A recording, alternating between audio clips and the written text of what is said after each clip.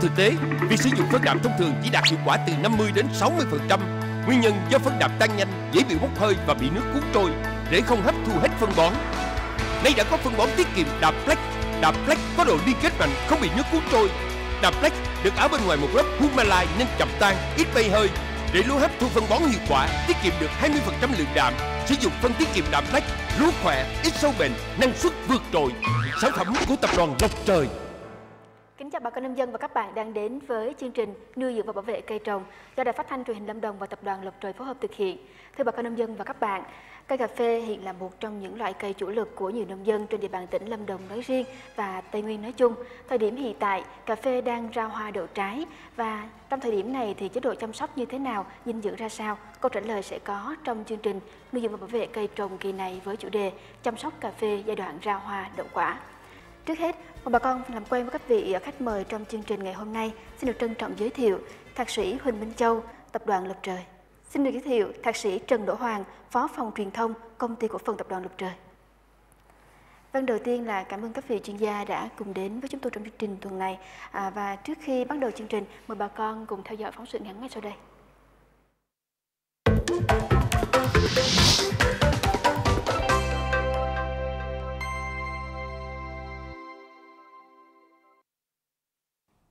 Niên vụ sản xuất năm nay, bà con nông dân Lâm Đồng canh tác gần 175.000 hecta cà phê. Phần lớn diện tích cà phê nói trên đang trong giai đoạn kinh doanh. Hiện cà phê Lâm Đồng đang bước vào thời kỳ ra hoa đậu quả. Đây là giai đoạn rất quan trọng, quyết định đến năng suất chất lượng của cây cà phê về sau. Bởi vậy, kế hoạch đầu tư chăm sóc cây trồng đã được các nông hộ triển khai Tuy nhiên hiện nay, do nhiều khu vực trong tỉnh đã xuất hiện nắng hạn cục bộ, giá cà phê xuống thấp, đã ít nhiều ảnh hưởng đến việc đầu tư, chăm sóc cây trồng của bà con nông dân. Tôi cũng đã chuẩn bị phân bón rồi. Tôi ờ, có mua được một ít phân ờ, UZ đen của công ty Nộc Trời để sẵn ở nhà là khi nào mà tưới thì tôi bón từ 5 3 ờ, lạng đến ờ, 5 lạng, tức là 500 gram đó, một cây như mức độ là bây giờ là cây nó chưa nuôi trái thì bón như thế là được rồi. À, sau khi mà tưới xong rồi thì thì tôi cũng có theo nước một hai đợt để cho cà phê nó tốt. Khó khăn nhất là vấn đề là dẹp sáp hiện nay coi như đang phát triển mạnh. Thế cũng mong muốn làm sao coi như là chúng tôi sẽ kịp thời để cho nó hạn chế vấn đề sâu bệnh để cuối năm đem lại cái uh, uh, hiệu quả tốt mùa khô á là vấn đề cây nông nghiệp á là người ta là chủ yếu tập trung là tưới nước là phân ừ, cải tạo đất lại cho nó tốt Mùa khô là thời điểm cây cà phê phân hóa mầm hoa, hình thành hoa và nở hoa đậu quả. Bởi vậy cây trồng cần được đầu tư chăm sóc đảm bảo. Nếu không, khó lòng ổn định năng suất và nâng cao chất lượng như mong muốn những vấn đề mà bà con nông dân đang chăm sóc hiện nay như là dinh dưỡng hay là tưới nước thì anh có thể chia sẻ thêm một vài à, ý kiến ạ?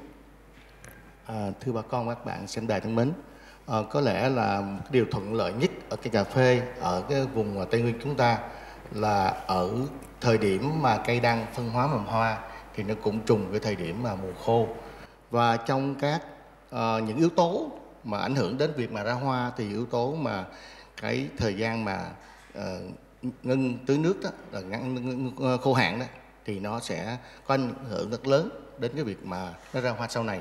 Bởi vì sau khi một thời gian mà được ờ, khô hạn đó nó kéo dài khoảng từ 3 đến 4 tháng đó thì khi chúng ta mà tưới nước lại đầy đủ đó, thì cái việc mà nó nở hoa sẽ rất là tốt và nó sẽ ảnh hưởng đến cái năng suất sau này. À, nhân đây thì chúng tôi cũng ờ, cũng xin nói thêm về vấn đề cái nhu cầu dinh, dinh dưỡng ở cái cái cây cà phê. Thì uh, cây cà phê giống như gọi là cây trồng khác thì phải cần nhiều loại yếu tố dinh dưỡng từ trung lượng đa lượng rồi vi lượng vân vân. À, tuy nhiên á thì à, có thể nói là đối trong cái đầu tư cà phê hiện nay á thì cái phân bón là nó đừng quyết định quyết định rất lớn. Nhưng mà hiện nay thì chúng ta thấy là việc cân đối giữa việc bón phân và việc mà à, tính toán làm sao để đem lại hiệu quả kinh tế giá cà phê nó đâu có cao đâu đúng không? Thì chúng ta phải bón làm sao nó hiệu quả. Thì chúng ta thấy là ở giai đoạn mà ra hoa hiện nay đó thì cái nhu cầu phân bón không phải là cao. À, bà con thêm nãy tôi thấy có một bà con cũng nói là à, chưa nuôi trái cho nên là chúng ta sẽ bón à, sẽ bón như vậy được rồi ha. Thì à, bởi vì lý do thứ nhất á, là chúng ta nói lại nè làm việc phân bón phân ở trong mùa khô nếu không cẩn thận sẽ ảnh hưởng đến việc mà tưới nước hấp thu nước của cây. Bởi vì nhiều người tới quan điểm mà bón cứ bón phân mùa khô rồi lúc đó đó khi nó vậy nó làm ảnh hưởng đến việc cái rễ hấp hấp thu nước thì như vậy thì nó làm cho việc ra hoa khó. Và thứ hai nữa cái nhu cầu của nó này nó ở mức độ vừa phải. Thì hiện nay là chúng ta bón phân giai đoạn này chủ yếu là để cung cấp cái lượng đạm để giúp cho việc mà nó hoa nó đủ dinh dưỡng để nó phát triển hoa tốt. Và thứ hai chúng ta bổ sung những nguyên tố vi lượng ờ, đặc biệt là như bo hoặc một số nguyên tố vi lượng để giúp cho việc mà đậu hoa tốt thì nó sẽ đem lại hiệu quả cao. Còn ở những giai đoạn sau khi mà cây nó đang phát triển trái thì lại cần nhu cầu khác. À, à, từ vấn đề này để chúng tôi cũng nhắc nhở bà con là trong việc thời điểm này chúng ta nên bón lại phần nào nó sẽ hiệu quả và nó đem lại cái ích lợi nhất Vâng, xin cảm ơn à, kỹ thạc sĩ Trần Đỗ Hoàng. À, thưa thạc sĩ Huỳnh Minh Châu, hiện nay thì à, chúng ta cũng biết là thời tiết thay đổi khá là thất thường. Điều này cũng ảnh hưởng đến việc chăm sóc cà phê cũng như là các loại dịch bệnh phát triển trên cà phê rất là nhiều. À, vậy thì trong thời điểm này thì những loại dịch bệnh nào có thể phát sinh và anh có thể đưa ra một vài khuyến cáo cho bà con nông dân để phòng tránh không ạ? Kính thưa bà con, à, hiện nay thì à, thời tiết nó nằm trong cái mùa nắng. Mà bà con mình cũng biết thì trong mùa nắng thì ờ, dịch bệnh á, thì thì đối với côn trùng gây hại thì chúng ta quan tâm nhiều hơn. Còn ờ, đối với ờ, bệnh hại thì trong mùa nắng thì nó không phải là cái vấn đề quan trọng lắm. Thì trong giai đoạn này thì bà con mình chú ý đi thăm vườn nhiều hơn để phát hiện coi trong trong trên trên cái chùm hoa à, trong các cái nắp cái cái cái cái, cái đọt à, trong cái chùm hoa coi có rệp sáp hay không có rệp bẫy hay không. Trong mùa nắng này thì rệp sáp và rệp bẫy là um, những cái loại côn trùng mà nó um, sẽ phát triển rất là mạnh. Nhất là à, khi mà điều kiện thời tiết có những những cái đợt mà nắng nóng à, xen kẽ à, và cái thời tiết à, nóng nóng lạnh nóng lạnh xen kẽ nhiều thì nó sẽ rất là thuận lợi để cho rệp sáp phát triển. Một cái đối tượng thứ hai nữa bà con mình cũng nên lưu ý đối với côn trùng đó là cái con con mọt đục cành. Thì trong cái giai đoạn này thì cũng là cái thời điểm để mà mọt đục cành nó phát triển. À, nếu như trong vườn của chúng ta trong cái giai đoạn mà sau khi thu hoạch đó, mà chúng ta đã có vệ sinh vườn à, tốt đó, thì bà con mình không phải quan tâm nhiều. Còn nếu như mà không có vệ sinh tốt thì bà con mình cũng nên lưu ý à, cắt bỏ những cái cành à, những cái cành dược những cái cành nằm sát mặt đất à, những cái cành mà nó không cho năng suất à, và thu hết những cái cà phê mà cái cái cái cái cái quả cà phê mà nó còn ở trên cây bởi vì quả cà phê còn trên cây sẽ là một trong những cái điều kiện để mà những cái mọt đục quả đó nó ở trong đó. Và nó sẽ tiếp tục nó nó nó nó nó, nó sinh sản và nó phát triển để nó, nó tấn công tiếp tục. À, đó là về um, côn trùng gây hại còn về bệnh thì mặc dù đây không phải là cái giai đoạn để mà à, bệnh nó phát triển nhiều tuy nhiên bà con mình cũng lưu ý là trong giai đoạn này nếu chúng ta thấy trên cây à, có triệu chứng của à, bệnh à, tháng thư à, có triệu chứng của bệnh um, rỉ sắt thì chúng ta nên phun ngừa ngay. Bởi vì trong cái giai đoạn này không thuận lợi để cho nấm nó phát triển. Nếu chúng ta ngừa trong giai đoạn này chúng ta sẽ dập được cái mầm bệnh từ giai đoạn ban đầu. Và cái cái cái cái cái đầu tư cái chi phí đầu tư của chúng ta bỏ ra sẽ ít đi mà nó lại không có bộc phát khi mà cái điều kiện thời tiết thuận lợi tức là mùa mưa sắp tới. Thì à, đó là một số cái điều kiện một số cái cái dịch bệnh mà bà con mình nên lưu ý trong cái à, thời điểm hiện tại. Vâng, xin cảm ơn à, thạc sĩ Huỳnh Minh Châu và thạc sĩ Trần Đỗ Hoàng với những chia sẻ vừa rồi. À, thưa bà con và các bạn, trong thời điểm này thì thực tế bà con nông dân canh tác cà phê có rất là nhiều thắc mắc xung quanh đến à, những vấn đề như là dịch bệnh hay là dinh dưỡng và chúng ta sẽ cùng theo dõi ngay sau đây.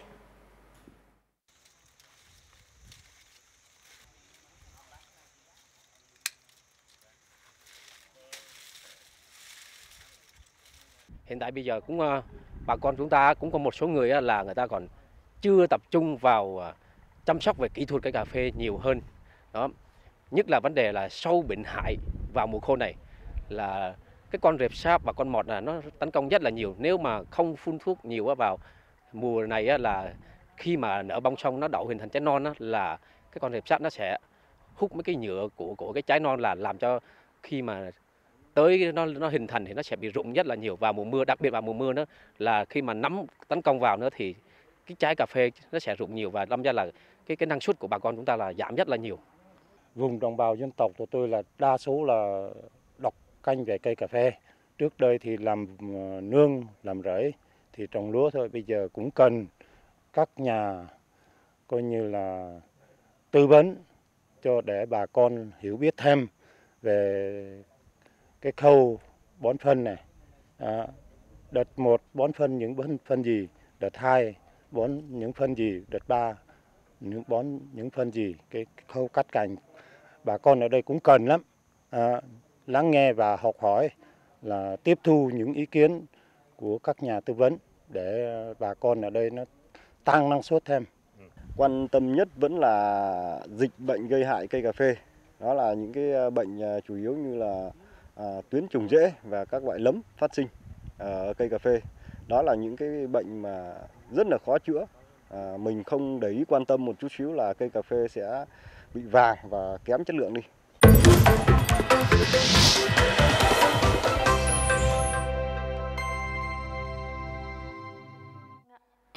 Vâng, chúng ta đã theo dõi những ý kiến của bà con nông dân xung quanh vấn đề chăm sóc cà phê trong giai đoạn à, mùa khô, giai đoạn à, ra hoa đậu quả. Thưa thạc sĩ Trần Đỗ Hoàng, anh có thể chia sẻ một vài ý kiến với bà con nông dân không?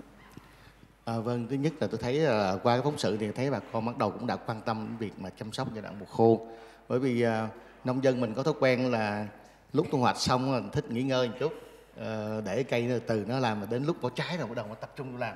Nhưng thực sự như thạc sĩ uh, Huỳnh Châu vừa nói đó, tới thời điểm mà lúc này là lúc mà chúng ta sẽ dọn dẹp vườn cây rất là, là tốt bởi vì nguồn bệnh nó còn đang yếu á, thì mình mình giải quyết được rất là nhanh.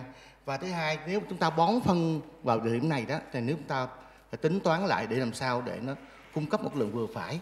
Và nó quan trọng là cái chỗ là chúng ta làm sao mà để nó giúp cho việc mà ra hoa đậu quả tốt sau này. Thì à, về cái phân bón tức là tôi nói trước là đến cái phần mà dịch hại chắc mời à, thạc sĩ châu nói thêm. Yeah. à, về phân bón thì à, bà con lưu ý cái này nè. Mặc dù là đối cà phê là muốn tăng năng suất là phải bón phân mà tôi thấy chi phí phân bón rất cao.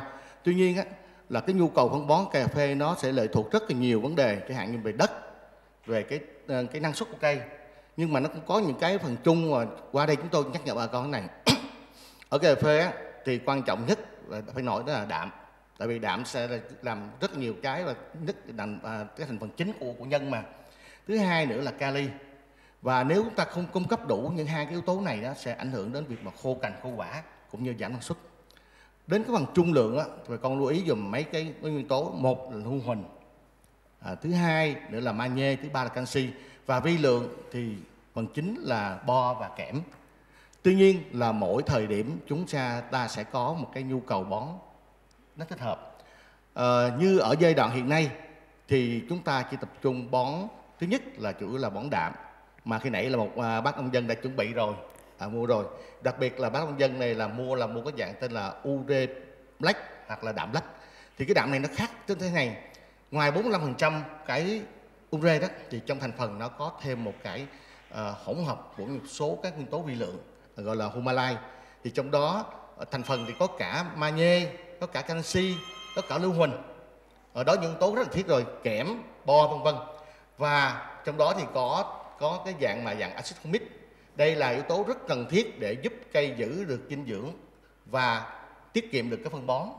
À, hiện nay như chúng ta thấy là cái ure mà gọi là ure black hay giờ sắp tới gọi đạm black cũng vậy thì cái thành phần nó chính nó có sự kết hợp giữa đạm và những nguyên tố vi lượng đó cho nên là nó giảm được cái lượng bón khoảng 20% thì à, cụ thể là trong lần tưới lần hai thì một hecta thì thay vì bà con bón khoảng trước đây thì có trung bình khoảng từ ờ, à, 80 80 kg ure.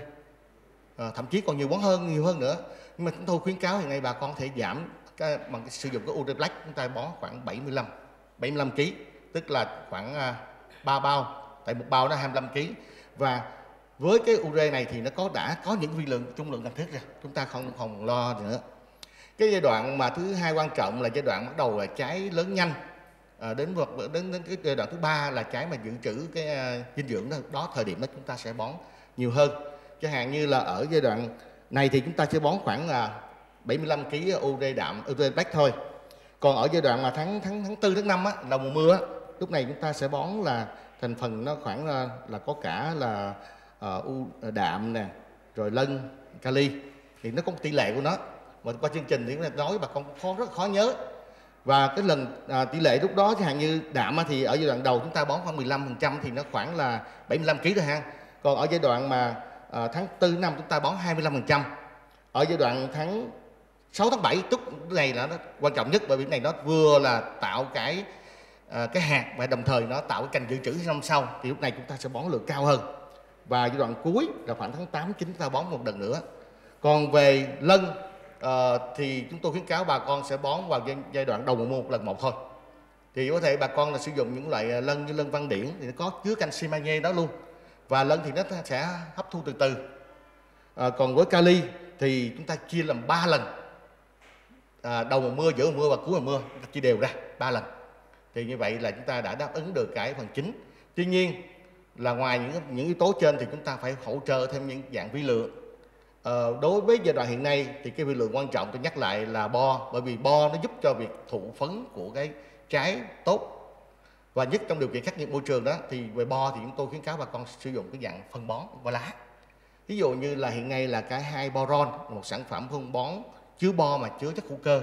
Thì thời điểm mà khi chúng ta tưới nước lần hai ở dưới đất chúng ta bón đạm black rồi ở trên chúng ta phun thêm bo kết hợp với bom blower nữa một chất kích hoạt nữa thì sẽ giúp cho việc là đậu trái rất là tốt và nó sẽ còn ảnh hưởng đến giai đoạn sau nữa. Đó vấn đề chúng tôi nói thêm bà con. Vâng còn Chắc về mời vấn đề thêm dịch bệnh. Châu nói về à, các loại dịch hại À, thật ra thì trong cái phần dinh dưỡng tôi rất là hứng thú. À, hiện nay thì tập đoàn Lộc Trời cũng đang đi theo cái hướng là sử dụng dinh dưỡng để quản lý kiểm soát dịch hại. Thì đây là một cái hướng đi mà tôi nghĩ rất là đúng đắn à, cho hiện tại và cho tương lai. À, à, trong cái phần dinh dưỡng cũng như là thạc sĩ Hoàng vừa nói đó thì ngoài cái chuyện mà chúng ta sử dụng cái phân bón gốc bây giờ mình nói thêm một tí về ure black đi hiện nay gọi là đạm black đó tại sao chúng ta sử dụng cái đạm bình thường mà chúng ta không thay thế bằng đạm lách? bởi vì trong đây nó vừa có hữu cơ à, hữu cơ ở cái dạng mà siêu hữu cơ tức là ở cái dạng à, à, humic đúng không anh? Humic à, và fulvat hum à, thì cái cái dạng này khi chúng ta đưa vô một mặt là cây nó sẽ hấp thụ liền. Cái thứ hai nó giống như là cái kho để nó dự trữ lại cái đạm mà đạm đạm hóa học đó, nó dự trữ lại ở đó. Và cây sẽ hấp thu từ từ nó không có bị mất đi nhanh như là chúng ta sử dụng cái cái cái cái đạm hóa học bình thường. Đó là cái thứ nhất. Cái thứ hai nữa là trong dinh dưỡng ngày xưa thì chúng ta chỉ chú trọng về cái bón qua gốc thôi. Tức là chỉ có ăn và ăn thôi. Chúng ta không có nghĩ là phải à, đưa thêm những cái chất khác vô để làm cho nó tốt hơn nó đẹp hơn. Giống như chúng ta ngày nay thì một cái người đẹp tự nhiên là tự nhiên rồi đúng không? Nếu như mà chúng ta được bổ sung thêm đầy đủ các cái cái thành phần khác vào nữa thì chúng ta sẽ đẹp tự nhiên hơn nữa. À, thì cái cung cấp cái cung cấp qua lá là một trong những cái mà giúp cây hấp thụ nhanh nhất và hiệu quả nhất mà đặc biệt đối với các cái chất trung vi lượng thì nó hấp thu qua lá rất là nhanh.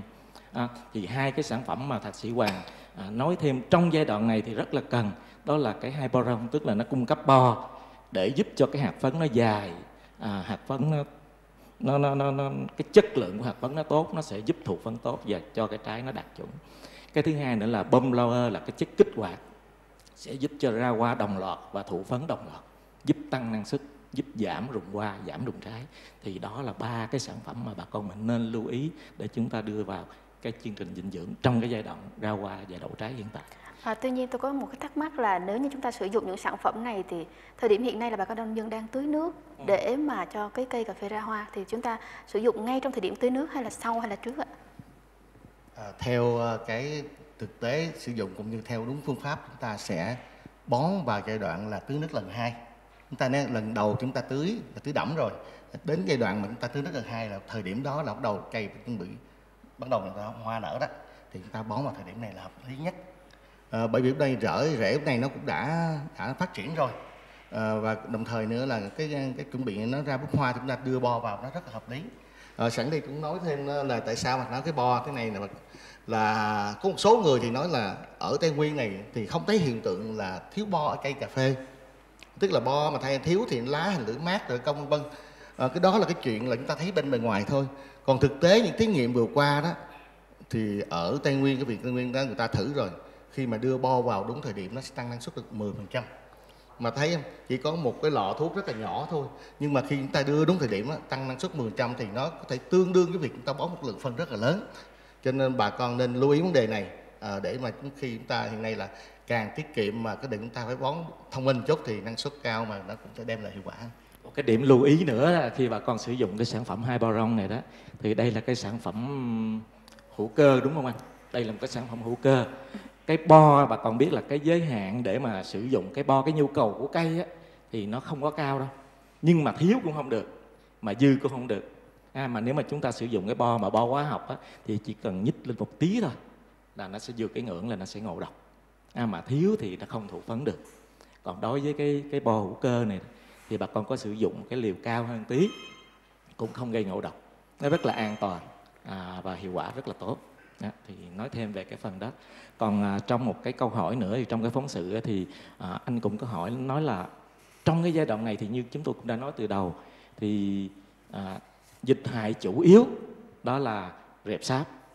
À, thì rệp sáp thì bà con mình cũng biết là à, rệp sáp nó có thể tấn công ở trên đọt non nè à, tấn công trong nụ hoa trong cái chùm hoa nè à, tấn công trên trái và à, tấn công luôn cả ở dưới gốc à, và để xử lý con rệp sáp này thì à, rất là khó bà con. Thứ nhất là rệp sáp là một loại cái một một cái loại dịch hại khó phòng trị bởi vì bên ngoài của nó nó, nó được bao bằng một cái lớp sáp.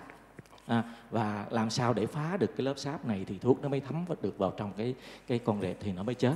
À, hoặc là những phải sử dụng những cái loại thuốc lưu dẫn mà nó lưu dẫn trong cây thì cái con rệp này nó chích vào trong cây á thì nó mới gây chết được cho nên là rất là khó để mà ừ, kiểm soát được để mà mà mà tiêu diệt được cái con rệp sáp này. À, nếu như chúng ta thấy rệp sáp xuất hiện ở trên lá trên thân trên bông thì chúng ta phun trên lá trên thân trên bông. Còn đối với rệp sáp mà xuất hiện ở dưới gốc dưới rễ thì chúng ta phải sử dụng thuốc và chúng ta pha vào và chúng ta tưới vào gốc vào rễ. Và lưu ý trong cái chuyện mà tưới vào gốc vào rễ đó bà con thì chúng ta nên kiểm kiểm tra vườn. Thấy những gốc nào có rệp sáp thì chúng ta tưới chứ không cần thiết là phải tưới tràn lan toàn bộ diện tích ha. Tại vì thuốc mà chúng ta phun để tưới vào đất để trừ côn trùng thì ngoài cái chuyện nó trừ con rệp sáp á, thì nó cũng sẽ tiêu diệt luôn những cái con côn trùng có lợi khác ha, cho nên là ở cái phần mà chúng ta đưa vào trong đất á, thì chúng ta nên lưu ý cây nào có thì chúng ta tưới cây nào không có thì không cần thiết. Phần phun thì chúng ta có thể là phun toàn cả vườn à, và để kiểm soát được cái con này thì bà con mình có thể sử dụng. À, chúng tôi ở đây giới thiệu hai sản phẩm cái sản phẩm thứ nhất là loser thì loser là một cái sản phẩm với một cái hoạt chất mới. À, chúng tôi ờ, vừa phân phối trong năm rồi. À, rất là hiệu quả đối với rệp sáp đặc trị rệp sáp đó là sản phẩm loser thì bà con có thể sử dụng để phun à, trên lá trên trên đọt à, trên hoa. À, bà con mình nhớ khi chúng ta xử lý rệp sáp thì chúng ta nên xử lý hai lần. Lý do chúng tôi khuyên bà con mình nên xử lý hai lần bởi vì như tôi nói là rệp sáp nó có một cái lớp sáp bên ngoài và cái thứ hai nữa là thường thì con rệp sáp nó có ôm con nó ở phía dưới cái bụng nó đó. Cho nên nếu chúng ta phun lần đầu tiên mà nó có chết rồi thì nó cũng còn con nó ở dưới bụng nó cũng còn tiếp nữa. Cho nên chúng ta nên phun thêm lần thứ hai để tiêu diệt nó hiệu quả hơn. À, à, và khi phun thì bà con mình nhớ là phun ướt đẫm để nó nó thấm được qua cái lớp sáp. Một cái sản phẩm thứ hai nữa tôi cũng xin giới thiệu với bà con đó là sản phẩm bơm. Album album sản phẩm album. Album thì chắc là bà con mình cũng đã quen với sản phẩm này rồi. À, nó có mặt trên thị trường từ từ rất lâu. Thì à, đối với album thì bà con mình cũng có thể xử lý ở trên cây à, phun qua lá phun phun phun qua thân phun qua bông và bà con mình có thể xử lý ở trong đất. Và cách xử lý thì cũng tương tự vậy. Chúng ta cũng nên xử lý hai lần à, cách nhau 7 ngày. À, thì đó là với rệp sáp. À, À, vâng, à, xin cảm ơn những chia sẻ vừa rồi của ờ, hai thạc sĩ. À, và thông qua hai số điện thoại đường dây nóng 02633 531 135 và 02633 531 404 chúng tôi đã nhận được à, khá nhiều câu hỏi từ bà con nông dân gửi đến. Và đầu tiên xin được à, trả lời câu hỏi của chị Tuyết ở Di Linh. Chị có hỏi rằng à, nhà đang canh tác 2 hecta cà phê thu năm thứ 9 tuy nhiên dạo này thì ở địa phương chị đang sinh sống có nhiều cơn mưa trái mùa. Vậy thì công ty có loại phân bón nào để cho ra hoa đồng loạt hay không? Vì hiện giờ hoa đã ra được hai ạ. Xin mời à, thạc sĩ Trần Đỗ Hoa. Vâng, cái việc mà chúng ta thấy ra hoa đó mà nếu mà khi mà nó không có đồng loạt á thì sẽ ảnh hưởng rất lớn đến việc đầu trái sau này. Bởi vì ta biết hiện nay cái cà phê chúng ta đang trồng cà phê vối á là nó thuộc vấn chéo. Cho nên là khi mà trong cái vườn mà tỷ lệ hoa nó ít á, thì sẽ ảnh hưởng rất lớn. Thì nó nó lây hoa từ à, nhụy từ bên này qua bên kia là phấn bên nó giao nhau. Cho nên nó đòi hỏi thứ nhất á, là cái lượng hoa nó phải nở đồng đều à, ngoài ra nó có những yếu tố khác phụ như là à, côn trùng rồi ờ, gió vân vân. Nhưng mà cơ bản là làm sao hoa nở càng đều thì sau này trái càng càng nhiều.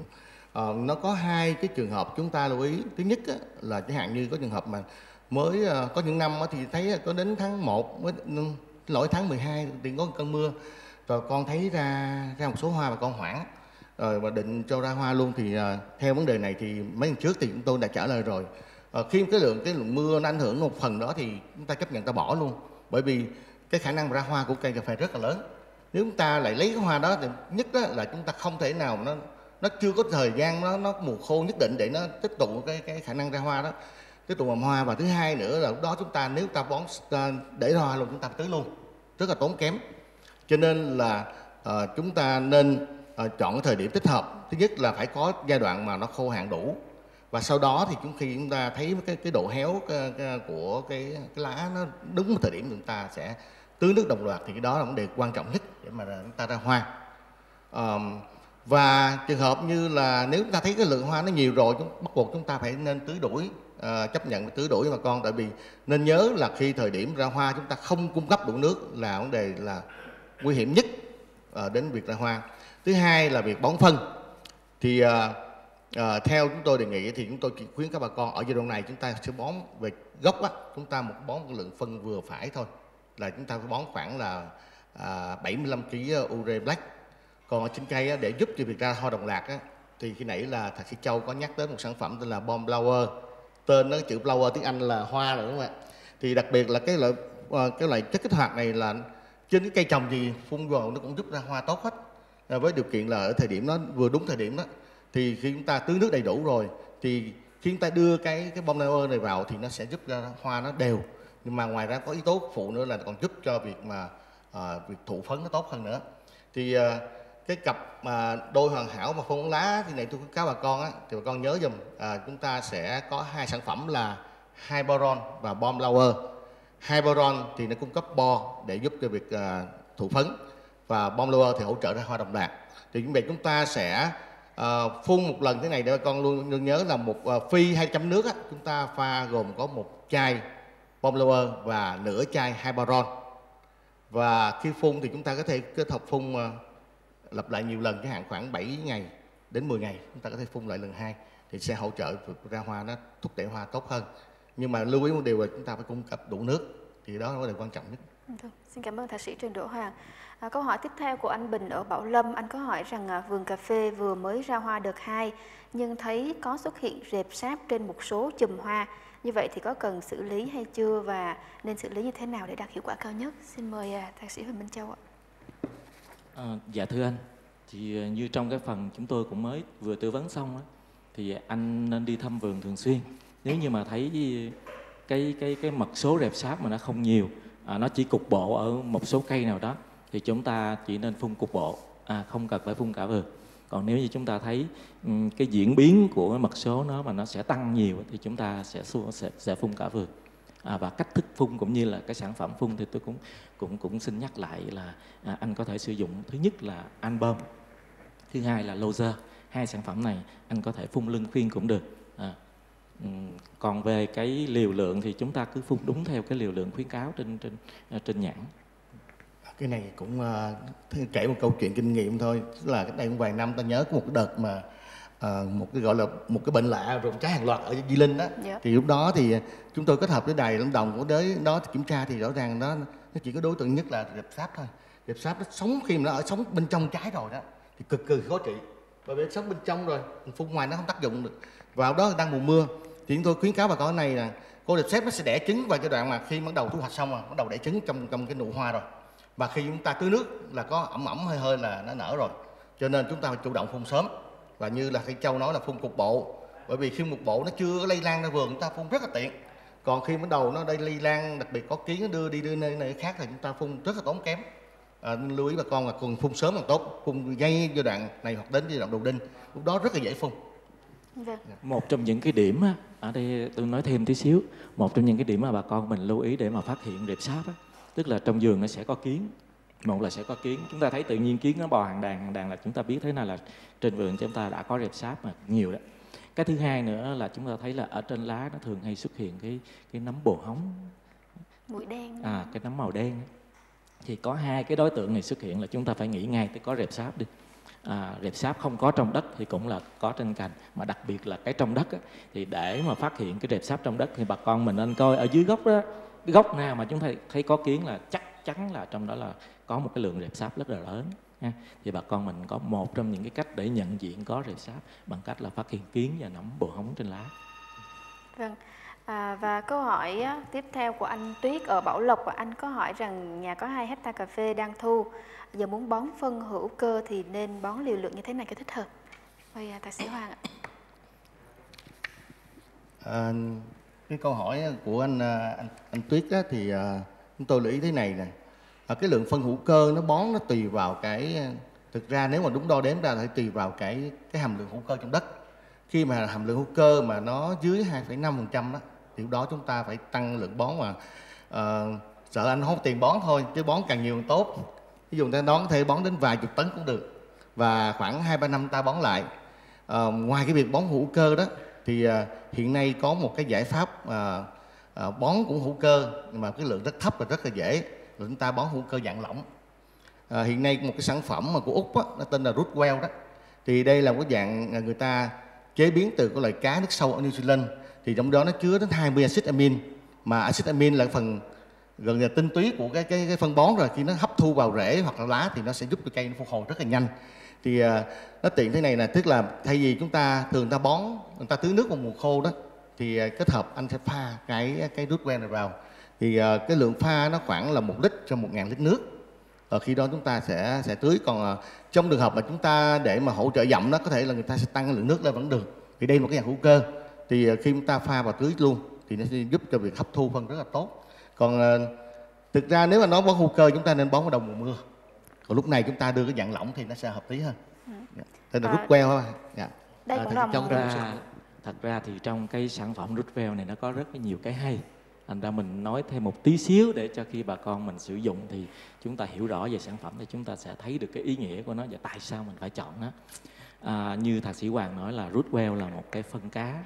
Tuy nhiên là cái loại cá này là cá ở nước sâu của một cái vùng biển. À, biển biển biển gì anh New Zealand à, cái đặc biệt là trong cái công nghệ này nó chế biến ra thì cái phần cá này đó là um, ở cái dạng hữu cơ và nó ở cái dạng phức.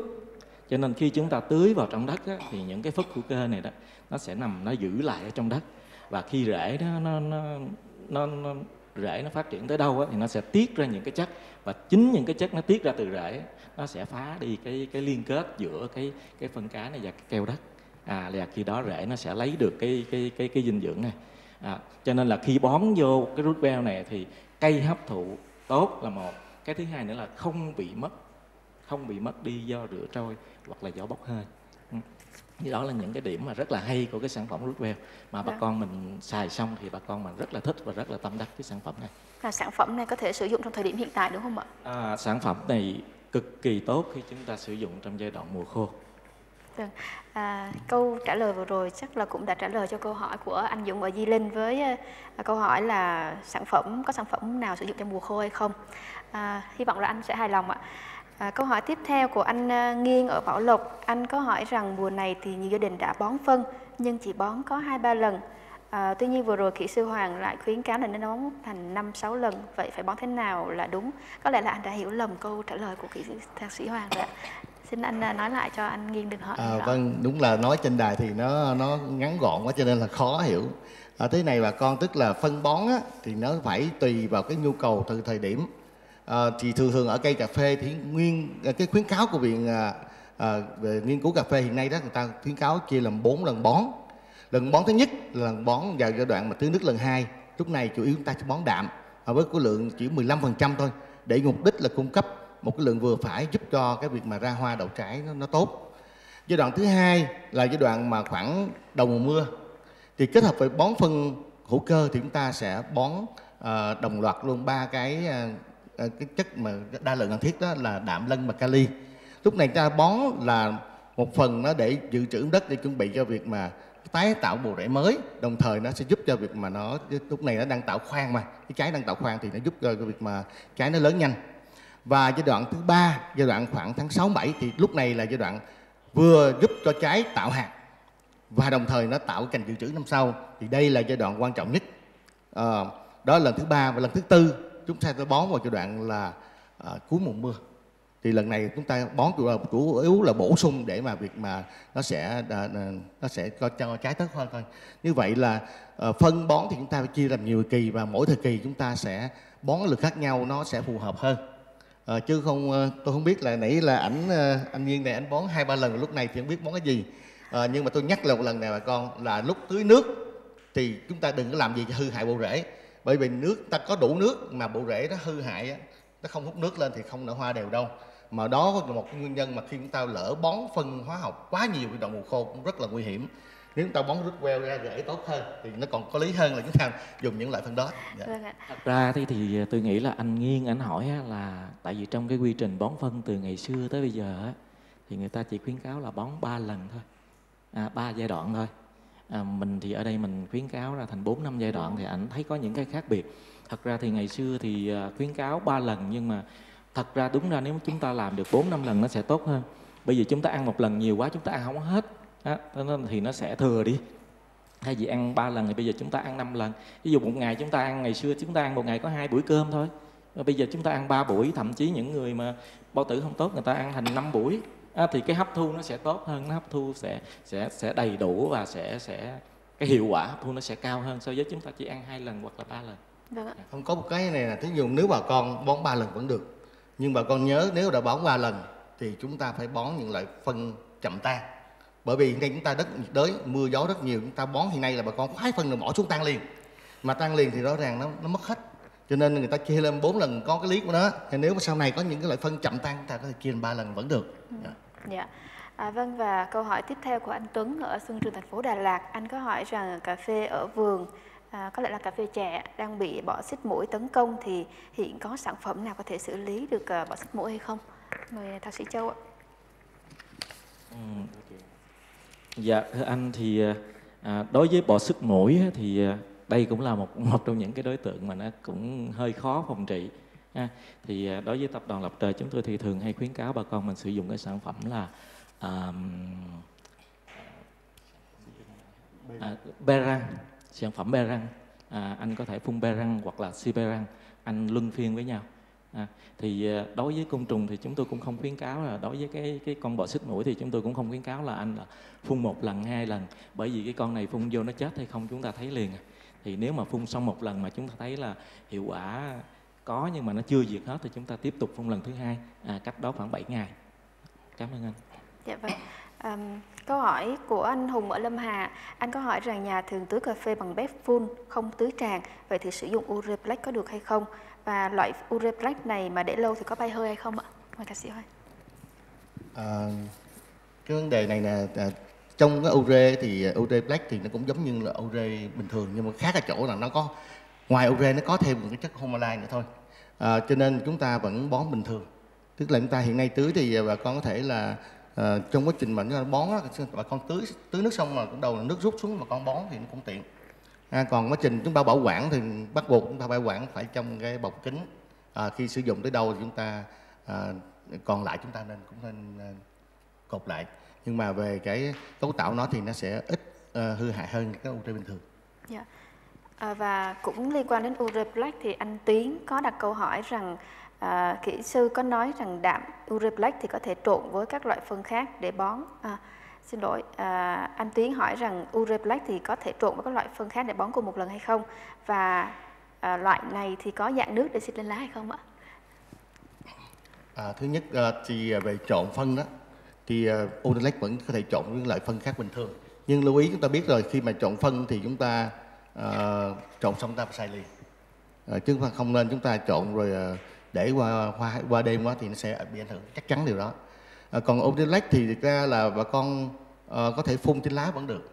Nhưng mà nên nhớ là khi mà phun dạng ure thì chúng ta phải biết cái nồng độ phun ha. Cái phun chúng ta phun mà uh, cái đó thì uh, thực ra là ngày xưa thì không có phun bóng lá thì người ta cũng lấy ure để pha ra phun thôi. À, nhưng mà cũng đều lưu ý là phun phải đúng nồng độ. Tại vì ure thì khi mà nồng độ không đúng thì nó ảnh hưởng đến lá. Dạ. Um... ở đây thì chắc là cái thứ nhất là ure black thì anh cứ nghĩ là ure black nó giống y như là ure không khác gì hết. Nó chỉ có áo được thêm bên ngoài à, một cái cái cái cái phần hữu cơ thôi. Cho nên là khi ure chúng ta sử dụng bình thường như thế nào á thì cái anh này vẫn sử dụng được y vậy thôi không có gì khác. À, còn tôi bổ sung thêm cái phần anh Hoàng nói là anh hỏi có có có có có phun lên lá được không? Thì thường thì những cái dạng này người ta làm để cho mình đưa vô gốc thì mình đưa vô gốc đi. Những cái dạng người ta làm trên lá thì đã có lá rồi. Mình làm chi cho nó khác hơn đúng không? và chúng tôi cũng không khuyến cáo bà con mình đưa cái này để phun lên lá bởi vì nó cực kỳ nguy hiểm. Nó giống như là con dao hai lưỡi á. Nếu mà cái nồng độ cao hơn tí là nó sẽ cháy lá. Cái thứ hai nữa là nó có thêm cái cái cái humic trên đó nè. Cho nên ngoài cái chuyện mà chúng ta phun lên trên đó à, cái lượng đạm nó cao á, là nó làm cho lá dễ bị bệnh là một có thêm cái hữu cơ vô trong đó mà phun lên lá nữa thì nó cũng dễ dàng có những cái nấm bồ hóng hoặc là tảo rong nó đi theo. Cho nên là chúng tôi không khuyến cáo đưa cái này phun lên lá mà chúng tôi có những cái dạng đặc biệt để đưa phun lên lá. Nếu anh thích thì anh vẫn có thể xài như DS80, DS Gold chẳng hạn. Đó rất là nhiều cái để mình xài rất là nhiều cái để mình chọn lựa ha. không cần thiết phải lấy một cái loại sản xuất cho cái này để xài cho cái khác. Dạ. Ừ, yeah. à, ờ, câu hỏi tiếp theo của anh Khánh có hỏi rằng ờ, Rootwell à, được biết là phân dạng lỏng. Tuy nhiên trong quá trình chăm sóc cây thì có cần kết hợp với loại phân nào khác hay không ạ? Xin mời bác sĩ Hoàng. À, thế này bà con tức là mỗi loại phân nó có tác dụng à, riêng của nó. Thì à, đối với à, cái cái rút queo đó là một loại phân mà nó chứa rất là nhiều những chất dinh dưỡng. Ngoài là axit amin ra nó có chứa chứa những loại khoáng mà giống như một loại phân hữu cơ tức là rất đầy đủ rồi. Cho nên tôi nghĩ là trong giai đoạn mà mùa mùa khô hiện nay đó chúng ta chỉ cần sử dụng cái cái rút queo để tưới là đã đủ rồi. Theo tôi nghĩ như vậy. Bởi vì uh, lúc này thì chúng ta tôi nhắc lại là hết sức cẩn thận chúng ta đừng nên sử dụng lạm dụng quá nhiều loại loại phân bón khác nhau. Vì nó sẽ ảnh hưởng đến cái bộ rễ thì nó sẽ làm giảm khả năng hấp thu nước thì rất là nguy hiểm trong việc mà mà ra hoa. À, với một loại phân mà có đầy đủ dinh dưỡng như thầy Sơn Châu nói ha nó có rất nhiều tác dụng trong đó tác dụng mà bà con thấy rõ nhất là đã tưới Odorlex là rễ ra rất là mạnh. Mà rễ ra, ra mạnh là vấn đề sẽ tiên quyết cho cái việc mà cà phê cho nên là theo tôi nghĩ như là đủ rồi. À, như vậy là xin lỗi là cái nút queo đó. Ta thấy vậy đã đủ rồi. Như vậy là trong thời điểm này thì chúng ta có thể sử dụng luân phiên giữa rút queo và ureplex hay là sử nó là như vậy nè à, nó là như vậy nè à, bà con. Thật ra thì cái phân nền chúng ta đi đạm lân kali chúng ta vẫn phải đi bình thường. Khi chúng ta đưa ureplex vô thì chúng ta thay thế cái đạm ure bằng ureplex thì chúng ta có thể giảm đi cái lượng phân bón xuống 20% chứ không phải chúng ta chỉ đi ure black không. Rút well nó cũng giống như là ăn cơm thì có thêm hôm nay món này ngày mai món khác. Chúng ta bổ sung vô để ăn cho nó đầy đủ hơn nó ngon hơn đầy đủ chất hơn thì sức khỏe phải tốt hơn. Chứ không thể nào đưa rút well vô không mà không đưa cái khác. Tức là ure black là chúng ta đưa vào để thay thế ure bình thường. À, không phải là một mình ure black không. Rút well là chất chúng ta đưa thêm vô để giúp tăng năng suất giúp cây tăng trưởng khỏe hơn đầy đủ dinh dưỡng hơn. À, chất lượng có và số lượng cũng có. À, à, à cái vấn đề này thì nó rõ ràng ha. À, cái điều nhắc là bà con thế này nè tức là về cái u ờ, cái đạm mà à, đạm ure black á thì tôi khuyến cáo là vì giai đoạn mà tưới nước lần hai thì chúng ta chỉ cần bón đạm thôi. Còn đến giai đoạn sau thì chúng ta bón đạm lên kali thì chúng ta kết hợp phải đầy đủ ha nhớ cái này khi nó lẫn lộn. Và thứ hai nữa là việc mà bổ sung cái rút queo đó thì chúng ta bổ sung theo như vậy là được rồi không có cần trộn rút queo với thứ khác nữa. Đó để cho nó, nó dễ. Vâng. À, và cũng một câu hỏi vừa mới được à, gửi đến chương trình. À, anh à, có hỏi rằng vườn cà phê đang giai đoạn ra hoa. Nghe kỹ sư nói bổ sung vi lượng bo như vậy thì bổ sung bo này mấy lần và vào những thời điểm nào ạ? Mà thạc sĩ Hoa. À, ở phần này để tôi tôi cũng có làm hơi nhiều về cái phần này một tí. À, thật ra đó thì à, như thạc sĩ hoài cũng có nói là trong cái giai đoạn mà à, trổ bông bông nở cũng như là đậu trái thì chúng ta nên đưa hai sản phẩm kết hợp cho giai đoạn này thì sẽ rất là tốt. Đó là bơm lơ và hai boron đối với hai boron thì chúng ta không cần phải bổ sung quá nhiều. Chỉ hai lần thôi cũng đủ rồi một lần là trước khi qua nở, tức là trong cái giai đoạn mà sau khi chúng ta tưới nước rồi, thì bông nó bắt đầu đâm lên đâm lên rồi và bắt đầu chuẩn bị nở, thì chúng ta đưa vô. Đưa vô giai đoạn này, chúng ta kết hợp luôn với bông blower nó vừa kích cho ra hoa đồng đều. Cái thứ hai nữa là cái cái bơm trong giai đoạn này nó giúp cho cái khi hoa nở ra thì hạt phấn nó sẽ phát triển tốt và thụ phấn tốt. Đó là lần thứ nhất lần thứ hai chúng ta cũng có thể kết hợp hai sản phẩm này chúng ta đưa vào là khi mà nó đã nở ra qua rồi thụ phấn xong rồi à, bắt đầu đậu trái nhỏ li ti rồi chúng ta đưa vô lần thứ hai để nó giúp cho vô hạt nó tốt hơn. Tức là cái cây nó phải, lúc này thì nói là vô hạt thì không phải vô hạt nhưng mà nó giúp cho cái cái cái hạt nó tốt hơn. Và cái thứ hai nữa là cái bơm nó sẽ làm giảm đi cái cây rụng trái non. À, đưa vô trong cái giai đoạn này hiện tại á, thì bà con mình đưa vô hai giai đoạn đó thôi còn giai đoạn về sau thì bà con có thể xài bơm hoặc là những cái cái khác để thay thế không cần thiết phải đưa bo vô tiếp tục à, một câu hỏi nữa sẽ được đặt cho thạc sĩ Huỳnh Minh Châu ạ. À, hiện nay thì mọc đục cành cũng đang là một trong những vấn đề bà con nông dân rất là quan tâm. Vậy thì làm thế nào chúng ta có thể hạn chế được tình trạng này ạ? Dạ thưa bà con, à, trong cái giai đoạn mùa nắng này thì ngoài cái chuyên rệp sáp thì chúng ta cũng đã biết rồi à, nó là vấn đề nan giải và hầu như là số 1 à, À, trên cây cà phê. Thì bên cạnh đó thì à, cái mọt đục cành cũng là một trong những cái đối tượng mà làm cho bà con mình cũng rất là đau đầu rất là khó trị. À, để phát hiện được cái con mọt đục cành thì bà con mình thấy là thường thì con mọt đục cành nó sẽ đục ở mặt dưới ở cái phần bên dưới của cái cành ha của cái cành. Cho nên là thấy những cái lỗ đục mà nó nằm bên dưới á, là chúng ta biết là không phải con sâu hay con sáng tóc mà nó là con mọt.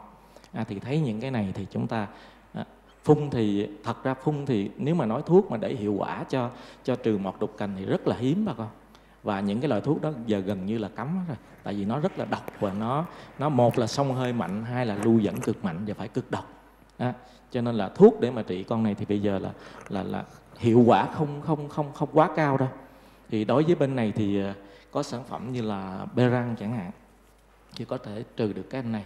Hoặc là bà con mình cũng có thể sử dụng anh bơm để trừ được cái con này à, tuy nhiên cái chúng tôi thấy là bà con mình nên làm và hiệu quả tốt nhất mà ít tốn kém nhất chỉ tốn thời gian thôi đó là mình đi thăm đồng thường và khi mà mình thấy được những cái canh mà nó bị khô héo à, nó có những cái lỗ đục mà những cái khô héo giống như là khô héo cả cành đó, thì chúng ta nên cắt bỏ và cắt sâu xuống bên dưới để cái phần trên có cái con con con con mọt đục này à, nó nó nó dính ở trong cái phần mà cái cành đã chết đó. và sau đó chúng ta đem đi thiêu hủy thì nó là hiệu quả nhất đó à, còn nếu mà chúng ta cứ để đó hoặc chúng ta cắt cành xong chúng ta quăng xuống đó thì từ anh này thì ảnh sẽ lại vũ quá xong ảnh sẽ lại ra rồi ảnh lại à, sinh sản nữa thì nó sẽ gây hại tiếp. À, cho nên là tóm lại thì đối với cái con mọt đục cành này thì bà con mình nên sử dụng cái biện pháp canh tác là tốt nhất. Tức là sau khi thu hoạch xong thì chúng ta nên tỉa cành loại bỏ hết những cái cành không có hiệu không không có cho năng suất loại bỏ hết những cái cành dược loại bỏ những cái cành mà nó là đà với mặt đất ấy, thì cũng là loại bỏ bớt một phần nào đó được cái cái cái cái cái sự lưu tồn của mấy cái con mọt đục cành này. Yeah. Và cái con thứ hai nữa cũng lưu ý luôn nó không phải là mùa này nhưng nó nó lúc nào nó cũng hiện diện đó là cái con mọt đục trái đó bà con. Thì cũng vậy đó thì cái biện pháp cũng giống như vậy. Bà con mình nên vệ sinh đồng ruộng cho nó sạch sẽ thì chúng ta sẽ hạn chế được. À, cảm ơn vâng hy vọng rằng những khuyến cáo vừa rồi của thạc sĩ Huỳnh Minh Châu sẽ giúp bà con nông dân có thể quản lý tốt được tình trạng mọc đục cành chúng ta sẽ cùng đến với câu hỏi tiếp theo của một nhà nông ở huyện Di Linh anh hỏi rằng hiện nhà có 3 hecta cà phê, một nửa đã tái canh 5 năm tuổi và nửa còn lại là được 10 năm tuổi. Diện tích 10 năm tuổi thì được 4 tấn một hecta do bị tuyến trùng. À, năm nay vẫn bị và xin nhờ hướng dẫn xử lý. Còn diện tích còn lại đã được à, 5 năm thì hiện đạt năng suất là 6 tấn một hecta. Vậy thì có cách nào để giúp nâng cao sản lượng hay không? À, đầu tiên là về tuyến trùng xin mời à, à, chắc cái phần về tuyến trùng thì tôi sẽ nói trước về tuyến trùng còn à, làm cái cách nào để mà nâng cao về năng suất và chất lượng thì chắc là nhờ thạc sĩ Hoàng à, bà con mình cũng biết là tuyến trùng nó là một cái vi sinh vật nó sống ở trong đất à, cho nên là để mà nói mà trị được tuyến trùng thì cái chuyện đó là cái chuyện mà chúng ta không thể tưởng. Bởi vì nó là một cái hệ vi sinh vật thì nó phải tồn tại trong đó. Tuy nhiên chúng ta làm thế nào để khống chế cái mật số của cái tuyến trùng này ở dưới cái ngưỡng gây hại cho cây trồng?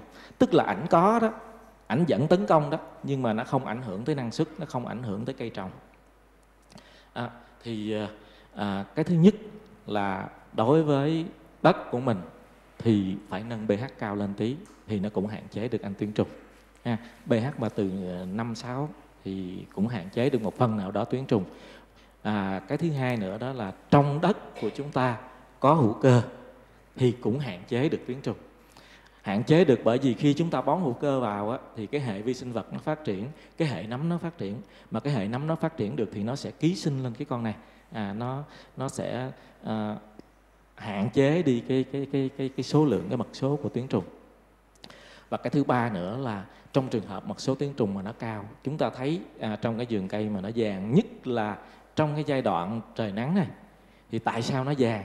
Bởi vì con tuyến trùng này nó tấn công vào trong rễ đó nó tiết ra những cái chất à, nó làm cho cái bộ rễ bị nghẹt đi và sau đó thối rễ.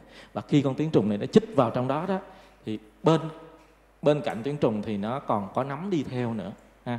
À, à, về cái cách phòng trừ thì nếu như nó nhiều bà con mình thấy trong giường mà nó hiện hữu nhiều thì chúng ta sử dụng hóa chất chúng ta đưa vào trước. Thì bên đây có sản phẩm là Son Vigo bà con có thể tưới vào đó trước và khoảng từng nửa tháng sau thì bà con mình sẽ cho à, Trico DHCT vào. Thì Trico DHCT vừa có khả năng đối kháng được với tuyến trùng à, vừa có khả năng đối kháng luôn cả cái nấm fusarium tức là cái nấm gây bệnh thối rễ trên cây cà phê. Thì chúng ta sử dụng một sản phẩm chúng ta có thể trừ được hai đối tượng. À, cảm ơn Vâng, à, còn phần về tăng cao năng suất cà phê Dạ, cái này thì tôi thật ra là Việt Nam là năng suất cà phê là cao nhất thế giới rồi mà bà con muốn nâng cao nữa không biết là nó cỡ nào. À, nhưng mà vấn đề quan trọng nó bên phải bền vững. Thì trong vấn đề mà để mà nâng cao năng suất á, thì nó phải bao gồm nhiều yếu tố thì tốt nhất là việc mà bón phân phải hợp lý. Tùy vào giai đoạn nào nhu cầu chúng ta bón chứ phải lúc nào cũng phải bón. Thứ hai là chúng ta làm sao việc mà ra hoa thời điểm này nó thật, thật là hoàn chỉnh. À, thì vấn đề chẳng hạn như về tưới nước cũng như là bón phân hợp lý vào giai đoạn này sẽ giúp cho việc mà nó ra hoa nó đầy đủ. Và vấn đề thứ ba nữa mà quan trọng là chúng ta phải bảo vệ bộ lá. Bởi vì à, lá cà phê là một loại mà khả năng quang hợp thua xa những cái cái cái cái cái nhóm cây cây trồng khác ờ, và như khi mà trong cái vườn mà bộ lá nó đã không tốt rồi thì ảnh hưởng rất lớn năng suất này. Thì việc bảo vệ lá thì bảo vệ từ việc mà làm sao tránh được những cái dịch bệnh hại à, xảy ra cũng như chúng ta phải làm sao mà bón phân đầy đủ để giúp cái bộ lá phát triển. Chiếm đó những nguyên tố này tôi nhắc nhở bà con hàng trong đó đạm kali rồi những nguyên tố trung lượng như là, là huỳnh rồi magie canxi rồi và những tố vi lượng như là bo và kẽm là những nguyên tố chủ yếu quan trọng đối với cây cà phê và nó sẽ ảnh hưởng rất lớn uh, trong việc mà chúng ta làm sao để năng suất cao.